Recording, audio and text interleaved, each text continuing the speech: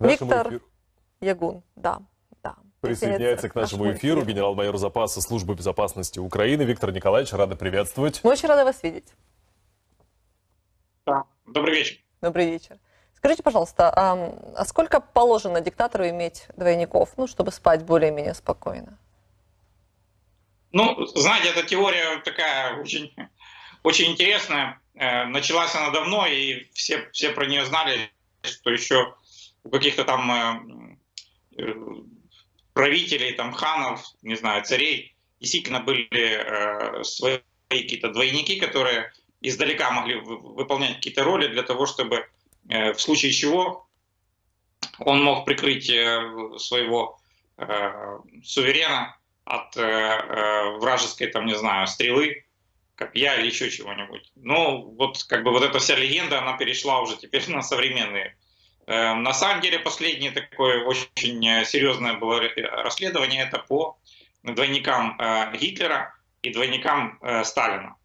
По двойникам Гитлера мы знаем да, ситуацию, что и советская разведка, и разведка других э, мировых стран э, которые э, входили в коалицию антигитлеровскую, они действительно э, охотились за Гитлером, и пребывание его на, на тех или других мероприятиях, особенно в последние годы нацизма, оно действительно вызывало очень много вопросов, потому что он э, выглядел действительно по-другому, ну, по-разному.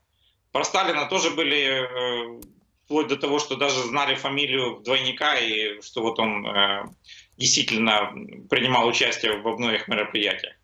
Поэтому я думаю, что вот по, по наследству это все перешло легендарно и э, на Путина, но э, под этим есть свой действительно очень много информации, например, того, что сейчас э, информационные технологии, фотографии, э, видео, э, фото, это все очень можно четко с, посмотреть, проверить, сравнить, сопоставить. Есть компьютерные технологии, которые действительно показывают, что есть, есть много вопросов, будем так говорить, Мгм. по отношению к тому или к другому лицу. Да, очень это, ведь мы живем в, в мире цифровых технологий и новых технологий, поэтому, может быть, э, э, эта информация, она умышленно не распространяется, либо же нужно оставить это все на уровне теории заговоров, как вы считаете? Я думаю, где-то правда где-то посередине, потому что э, использовать э, человека, который действительно похож, можно подготовить одного, не, ну, не больше. Если мы говорим про каких-то там, не знаю, кучу двойников, ну, это вот вызывает какие-то большие сомнения, потому что информация, э, которая становится известна э, многим лю- людям, которые готовят, там, э, обеспечивают безопасность этого человека, она бы уже давно получила свой... ну, то есть она бы вытекла, и точно бы мы уже знали правду. Мгм. На самом деле, представьте себе, насколько сложно это что надо делать? Два бункера, два отдельных там, ну это если два человека, да, а если три, то что три бункера? Ну, чтобы они как-то не встречались между собой или, или что? Или они проводят какое-то совещание, и каждый говорит, вот ты сегодня там, ты сегодня тот там, а ты там. Ну, как-то оно не очень логично. Поэтому э, можно предположить, что может быть один человек, да, которого э, время от времени можно выставить где-нибудь действительно за а, столом по- подальше от э, этих вот где-то там э, на каком-то мероприятии, на стадионе, на еще где-нибудь. Но я не думаю, что прямо можно его отправить, подписывать какие-то международные договоры или принимать участие в международных э, конференциях, потому что, тем более за границей, потому что это ну, чревато. Э, То есть некоторые документы можно призвать просто никчемными, потому что их подписывал непонятно кто.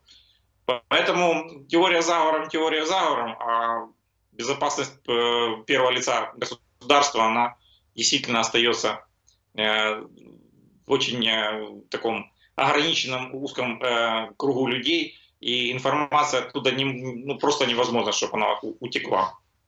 Виктор Николаевич, с момента начала войны 2014 года, да, и тем более с момента начала полномасштабного вторжения 24 февраля, мы вынуждены созерцать Путина в разных ситуациях. Э, Вы для себя какие изменения в его поведении, в риторике отметили? Я думаю, что он, а, а, у него вот этой спеси, да, поубавилось. Надо посмотреть, как он себя ведет сейчас и как он вел себя 24 числа. Про то, что там скидывайте президента, принимайте решения, там еще что-то такое. То есть вот это вот э, э, э, старш, старшие братья, да, вот это вот мы старшие братья, мы, мы, мы сверху, мы, мы все понимаем, мы все знаем, мы знаем, как лучше будет, поэтому мы вам указываем. Вот это вот нету. Нету, и как себя вести, он тоже не... Вот, вот его научили так вот за 20 лет, что он должен быть первым. А тут его начинает где-то там ставить на место. То его Рахмонов где-то там поставил на место, то еще какой-то там президент, который вообще он даже не знает, как выговорить фамилию его. То есть это, это для него ну, настолько ужасающе, что я, я просто себе представляю, насколько психологический удар он получает каждый день. Тут он общался с первыми лицами мира, а тут его, об него вытирает ноги какой-то там, не знаю, президент, не будем называть какой страны. А вот э, такие вот случаи, как с Севастополем и с э, зерновым э, вот этим э, с договором по зерну, это, конечно, вообще это очень интересно, да, то есть э, в конце концов он уже просит про что-то, вот мы там сейчас вот где-то, э, может, дадите нам гарантии. И это все, конечно, психологически на него э, давлеет. И он просто от этого точно не здоровеет. Но вы тоже ведь заметили, да, изменение риторики Путина? Я даже не беру уже временной промежуток вот мочи в сортире, цитируя, когда он еще в белом свитере сидел и анонсировал взрывы, когда только формировался миф о террористах-чеченцах, опять же в кавычках. И вот до этого «Ура», когда мы услышали даже не голос, а попытку полувздоха, то есть даже на уровне того, что и как говорит э, Путин сегодня, уже можно понимать, как он либо устал, либо изменился, либо, либо что. Поясните, пожалуйста, вот ваша версия. Ну, ну смотрите, 20 лет при власти. 20 лет э, ты э, первый человек, и за тобой там, не знаю, действительно носят все, что надо и не надо. И, и, и тебе не надо вообще некоторые вещи, ты даже не понимаешь, как они происходят. То есть ты настолько оторванный от жизни, что ты можешь выйти в магазин и не знать, как вот вот я точно знаю, что он не знает, что телефоном можно рассчитываться в магазине. Ну, вот реально. То есть, ну, так, по таким мелким вещам это говорит о том, что человек оторванный от, от э, реальности, от жизни по очень многим вещам. Он же действительно, э, это же правда, что э, некоторые гаджеты э, от него ну, должны находиться на расстоянии больше 20 метров. А то, то, что мы называем компьютером, это такое фикция, на самом деле это телевизор, который сделан под, под, под компьютер, то есть никакого там компьютера нету. Это действительно для, для, видео, для видеосвязи, и сам компьютер может находиться вообще в другом помещении. Это все ну, вот от того, от, от, от тех фобий, в которых он живет. И он просто не может, э, человек в таких вот условиях, долго продержаться психологически просто не может. Поэтому такие происходят э, изменения э, психологические, и вокруг него когда, когда эм, у него официально вроде как бы объявили о распаде семьи. Но это же понятно, да, вот близкий человек просто, наверное, не понял, как можно себя находиться близко с человеком, который с каждым днем становится все больше и больше, не просто отдаляется, а превращается в какого-то монстра. Поэтому лучше отойти и забыть про это все дело. Поэтому, ну, вот у него нет ни родных, ни, ни близких, поэтому вокруг него эти все легенды там складываются про кучу детей, там, не знаю, еще, еще про что-то. Ну, какие куча детей, знаете, ну, давайте будем э, мудрыми. А как э, Путин свою политическую карьеру закончит, как вы считаете? Ну, в России единственный человек за последние сто лет, который нормально закончил, это был Хрущев, которого вовремя отправили на пенсию, и он на даче доживал свой век. Поэтому я думаю, что традиция будет э, сохранена, либо ногами вперед, либо табакеркой в голову. А, ну то есть вы считаете, что вот эта вот точка невозврата уже пройдена, да, уже без вариантов э, по хрущевскому сценарию пойти? Однозначно. Никто его никуда не отпустит. Вы что? Надо же на кого-то списать эти все дела, все эти греха. грехи, чтобы сказать, что вы знаете, мы вообще ни при чем. Вот вот придурок стоял тут при власти, вот на него все и списывают. А на Шойгу все это столкнуть? Он же пока еще исполняет обязанности министра обороны. Да я думаю, что Шойгу в лесах уже никто не найдет, он вовремя уйдет. Без работы не имея- останется, да, будет шаманить. Да, имея ма- маму украинку из степей, а, луганских степей, а отца тувинца, я думаю, что эта кровь ему сыграет, и он как и- ис- истинный казак-тувинец уйдет в леса.